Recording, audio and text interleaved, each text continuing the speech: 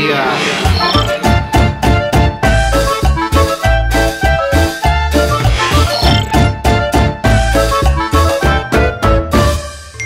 Halo, selamat datang kembali di Jerian Stikoy 89 Sesuai judulnya nih. Penting banget Gue mau ngebahas soal aerator Karena masih banyak yang kurang paham Atau salah paham justru soal aerator. Baik penggunaannya maupun fungsi Ataupun penempatannya Sebelum gue mulai, teman-teman boleh klik atau nonton dulu video gue atau konten gue di atas tuh Gue kasih linknya Gue nih pernah ngebahas sebenarnya soal fungsi aerator dan lain-lainnya. Pokoknya mengenai aerator. Nah, konten ini bagaimana ya? Apakah ini gue ngulang lagi? No, no, no, no, no. Gue bukan yang gak ada bahan. Yang tadi teman-teman lihat itu wajib ditonton ya. Itu fungsi aerator gue kupas tuntas. Sedangkan konten yang ini, ini gue ngebahas soal fungsi aerator lagi. Gue ulang, gue tambahkan, bahkan gue lengkapin dengan yang tepatnya itu posisi aerator itu di mana penempatannya di kolam koi kita. Kita mulai dulu dari fungsi ya teman-teman. Fungsi aerator itu banyak banget tapi beberapa hal yang paling penting aja. Satu ya sebagai produsen oksigen pada kolam ikan koi. Sebenarnya aerator itu hanya menimbulkan udara dan gelembung udara pada kolam koi. Akibat gelembung tadi air kolam koi menjadi bergerak nah karena bergeraknya itulah maka menimbulkan DO atau kadar oksigen di dalam kolam kita nah oksigen yang makin besar di kolam ikan koi itu makin bagus buat ikan koi bertumbuh maupun eh, parameter airnya juga menjadi baik karena melimpahnya oksigen tersebut membuat ikan koi bertumbuh dengan pesat dan menjadi besar. Sekarang kita bahas soal penempatannya. Kalau gue, gue taruh e, mesinnya di luar, tapi selang aeratornya gue taruh tepat di bawah waterfall.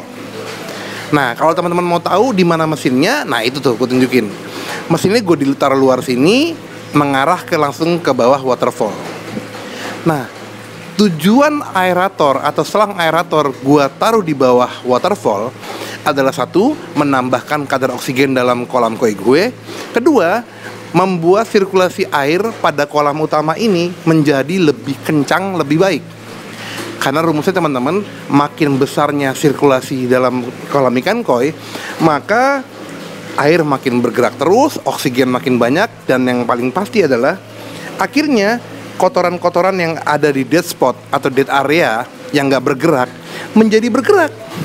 Jadi kotoran itu nggak mengendap di satu tempat pada kolam ikan koi kita yang bisa menimbulkan racun atau amonia. Jadi ketika bergerak terus, akhirnya kotoran tersebut masuk ke the bottom drain, terhisap dan terfiltrasi pada filter chamber kita yang kita milikin itu fungsi aerator kalau teman-teman tempatkan um, selang aeratornya di bawah uh, waterfall. Ada juga yang kedua, banyak teman-teman lihat aeratornya, selang aeratornya ditaruh atau ditempatkan tepat di atas uh, bottom drain. Bagus juga, karena nanti dia bekerja seperti jamur. Jadi airnya ke atas, sirkulasi lagi ke bawah, kotorannya akan masuk ke bottom drain. Kenapa gue nggak pakai seperti itu? Karena gue dari awal lebih memilih penempatan selang aeratornya di bawah waterfall. Kalau teman-teman ada yang gunain seperti ini nih, seperti tadi tuh, yang kata gue di tengah kolam alias di atas bottom drain, bagus juga. Lo harus coba juga. Berikutnya, ada yang bilang, Yan, gue itu sebenarnya lebih condong menggunakan aerator atau selangnya pada filter chamber bisa juga sih teman-teman, tapi ketahui dulu fungsinya apa. Ada aerator yang selangnya ditempatkan di chamber filter biologis alias sebelum terakhir. Jadi chamber sebelum terakhir, bukan chamber terakhir ya. Yaitu memang chamber tersebut menggunakan media Kaltness atau K1. Media sebenarnya bukan biologi sih dia, lebih ke mekanik, bergerak terus. Tapi akhirnya kotoran itu akan menyangkut di Kaltness tersebut bersihnya pun gampang. Nah, ketika teman-teman menggunakan media Kaltness atau K1, itu teman-teman memerlukan selang aerator yang besar pada chamber tersebut. Tapi ada juga seperti gue nih, kalau gue mau gue tempatin aja di tempat ini nih, di chamber sebelum terakhir ini, um, selang aerator. Yang fungsinya adalah menimbulkan oksigen. Yang fungsi lainnya, ketika oksigen banyak di chamber ini, harapan gue dan target gue adalah uh, bakteri baik menjadi banyak, menjadi makmur, menjadi kaya.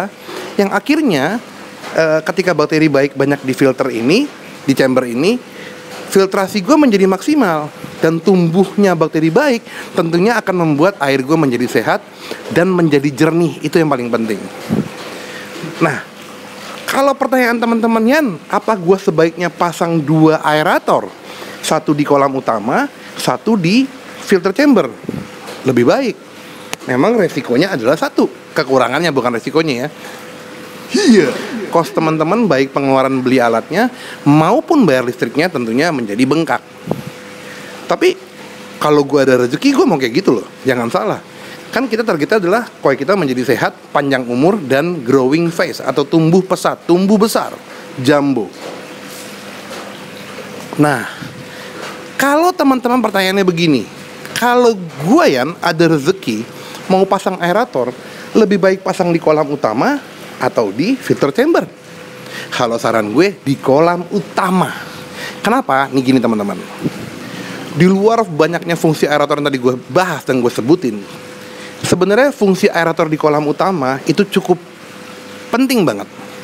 Contoh, ketika lu ngasih obat, gue kan selalu ngasih tips kalau ngasih obat matiin mesin pompa, yang berarti tuh air terjun akan mati.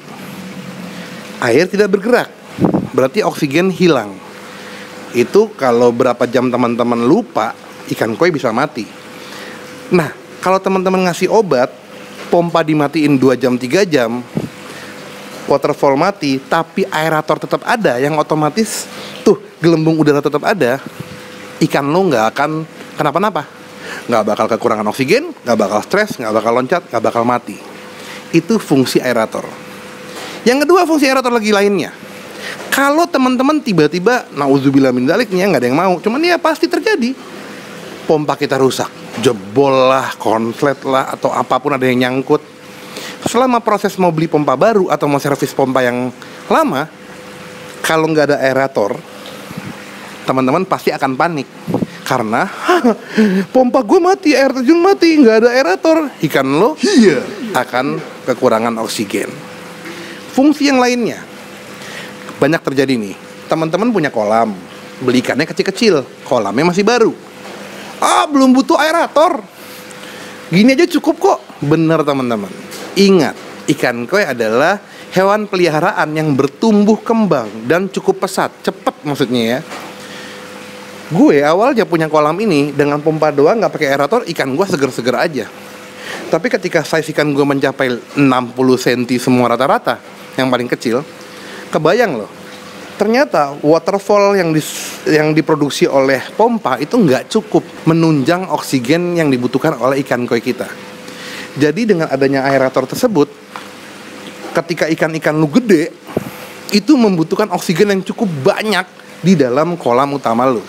Jadi saran gue buat lo yang baru buat kolam atau mau buat kolam, dari awal lu emang harus pasang aerator. Ikan gue masih kecil ya, nggak apa-apa. Karena ketika kolam lu udah dari awal punya pompa yang bagus, ada arus, ada air terjun, ditambah lagi gelembung udara yang diproduksi oleh aerator, dari awal juga ikan lu akan sehat, parameter kolam lu menjadi baik, kadar oksigennya banyak, yang akhirnya ikan lu dari awal yang lu pelihara dengan pakan yang oke juga ya, akan tumbuh dengan pesat, dengan cepat dan menjadi jambu. Kenapa? ketika aerator banyak, oksigennya banyak, ada aerator maksud gue ya bukan banyak, ikan lu menjadi lebih lincah bergerak terus karena oksigennya banyak. Cepat lapar, makannya banyak, cepat tumbuh besar dan menjadi jumbo. Ini gue ngomong bukan ngada-ngada, bukan demi konten. Gue punya kolam hampir 7 tahun dan itu udah gue buktikan. Jadi kalau teman-teman mau juga buktikan seperti apa yang gue rasa, pasang aerator sekarang di rumah lu di kolam utama lu.